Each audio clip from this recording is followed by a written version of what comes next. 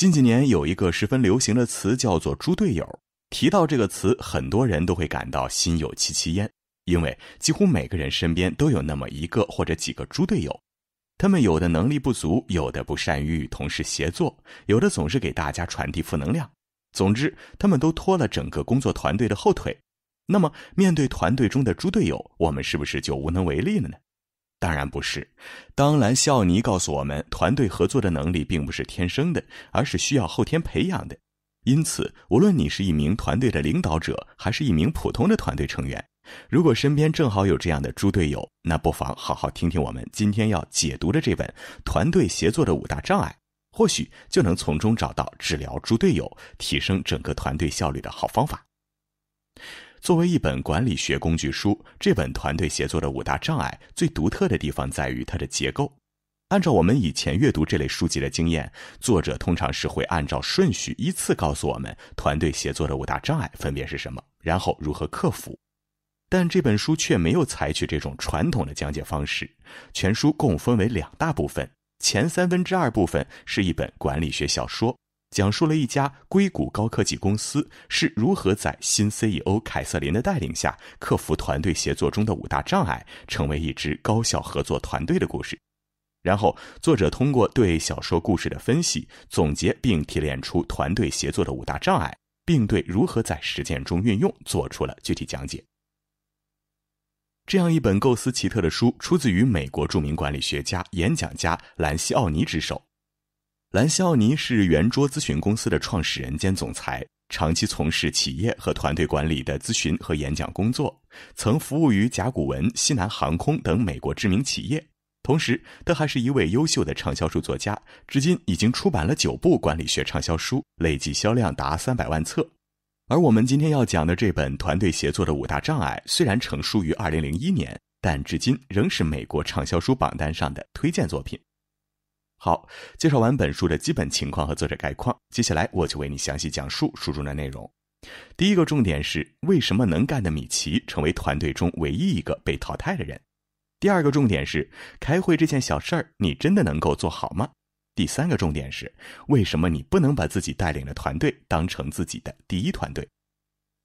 好，我们先来看第一个重点：为什么能干的米奇成为了团队中唯一一个被淘汰的人？首先，我们先来介绍一下前半部分的管理学小说背景。故事发生在美国硅谷一家名为“决策”的科技公司。这家公司曾经拥有一支经验丰富的豪华管理团队，一大批优秀的工程师，还有顶级的投资者作为坚强的后盾。但是，就是这样一个外在条件堪称完美的公司，近两年却陷入盈利下滑、市场份额逐渐下降的怪圈。面对困境，董事会决定更换 CEO，让凯瑟琳接手公司。但是在几乎所有人看来，这位新上任的 CEO 都与公司格格不入。作为一名已经五十七岁、几乎毫无高科技公司工作经验的女性，凯瑟琳的履历的确不能让员工们信服。而她上任之后的举动，更是让许多人迷惑不解。凯瑟琳几乎每天都在找不同的员工聊天。她虽然尽可能的参加会议，却仍旧让前任 CEO 主持。自己只是坐在一旁，默默的观察和记录。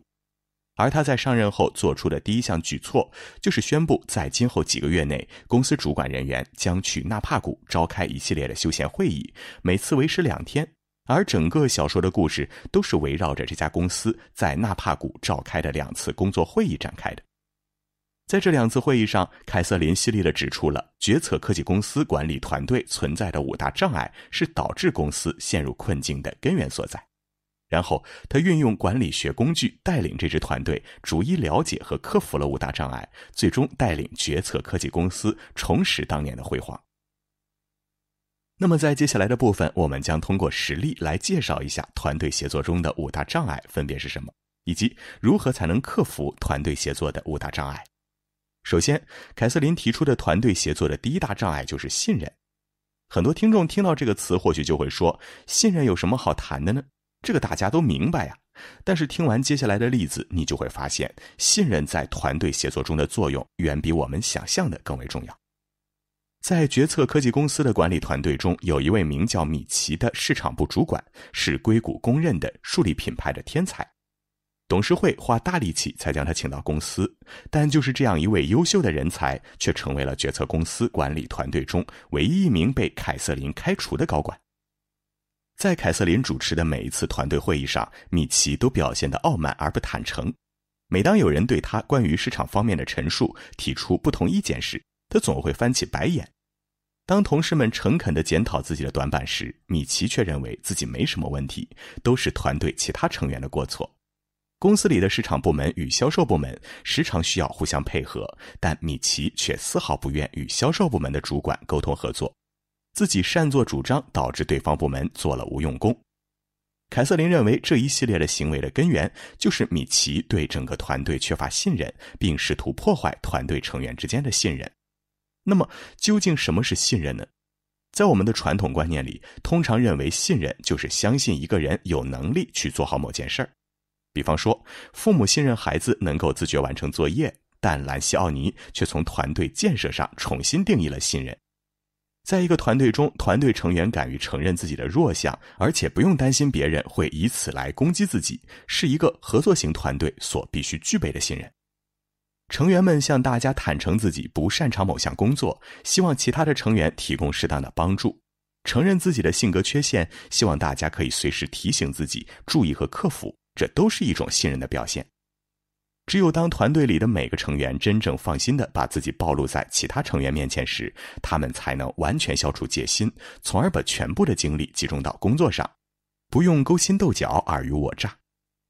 反观我们前面提到的米奇，虽然是个个人能力极强的主管，但是在整个管理团队中，他丝毫不信任其他成员的能力，也不愿意暴露自己的缺陷，对其他成员充满敌对情绪，极大的破坏了团队成员之间的信任。因此呢，凯瑟琳为了整个团队的利益，做出了开除米奇的决定。那么，如何培养团队成员之间建立起高度的信任呢？兰西奥尼给我们提出了以下两种主要方式。而这也是小说中凯瑟琳采用的方式。首先是个人背景介绍，让团队成员回答一些不太敏感的关于家庭基本情况的问题，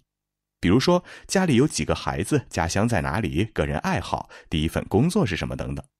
通过这些比较接地气的问题，可以拉近团队成员之间的关系，从对方身上发现彼此的共同点，减少隔阂。其次是成员工作效率讨论。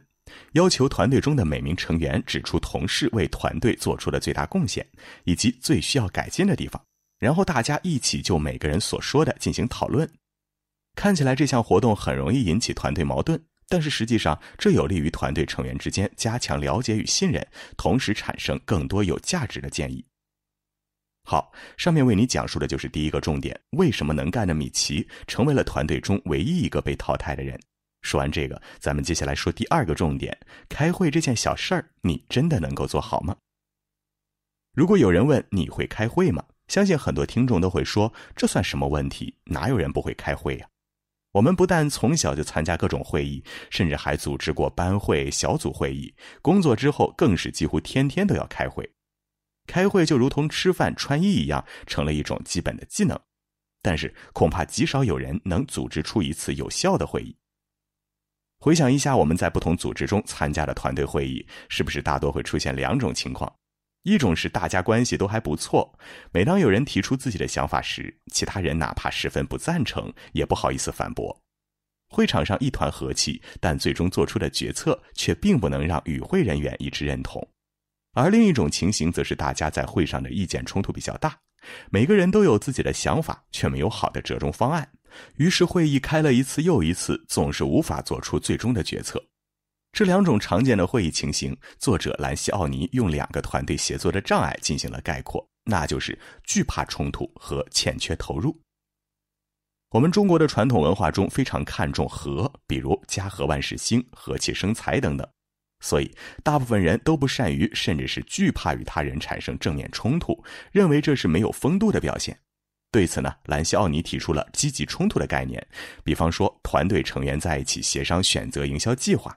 有的人认为 A 计划比较好，有的人认为 B 计划更优，大家各抒己见，争论的非常激烈，谁也不肯相让。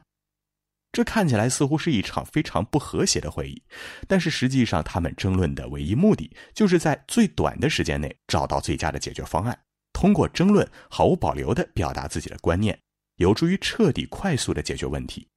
而在争论结束之后，他们之间也不会因为彼此工作见解不同而抱有残留的不满或者怨恨，私下里还能一起谈笑风生，这就是一种积极的冲突。而这样的冲突对于团队决策十分有益。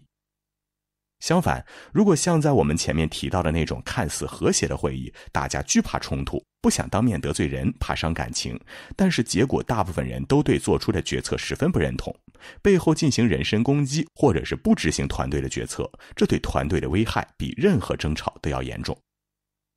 那么，作为团队的管理者，应该如何带领团队直面冲突，并且顺利的化解冲突呢？首先要鼓励团队成员勇于挖掘争论话题。越是掩藏着深的矛盾，就越要摆在桌面上，迫使大家一起着手去解决。甚至还可以在会议过程中专门指派一名成员负责提出这类话题。其次是大家争论有些烦躁时，要适时的提醒双方辩论者，他们刚才的争论是为了团队的利益，没有任何不妥，而且有必要将这种争论继续下去。或许很多人会有这样的疑问：如果我们积极的参与争论，但就是谁也不能说服谁，同一个问题被反复的提出来，但是迟迟做不出决定，怎么办呢？这也就是我们前面提到的第二种会议模式。而出现这种会议模式，说明团队合作中还存在着欠缺投入的障碍。这里的投入代表的并不是投入精力的意思，它是指会议决策的两个步骤：阐明问题和达成共识。通过前面的讲解，我们已经知道了可以通过争论阐明问题，但是如何才能迅速的达成共识呢？兰西奥尼给出了三种有效的方式。首先就是设立解决问题的最终期限，要求团队成员在最终期限来临前必须做出决定。在面对复杂决策时，甚至可以对每个步骤的决策都规定具体时间，这样就能保证团队成员能够及时的达成共识。其次就是对意外和不利情况进行分析，团队成员为何迟迟无法做出决策？最重要的原因就是害怕因为决策错误出现不利的结果。因此呢，我们不妨先把最坏的结果摆出来，让大家知道，即使决策错误了，结果也不过如此，帮助成员们克服对失败的恐惧，从而尽快的做出决策。最后，即使团队成员看起来已经达成一致时，也不要急着立马结束会议。因为这时虽然看起来已经达成共识，但如果没有一个明确的总结性结论，往往会出现团队成员各自理解不一致的情况。因此呢，团队的负责人有必要花费几分钟的时间，对会上讨论的所有问题的结论进行总结和再次确认，确保团队成员能够准确的了解最终决策。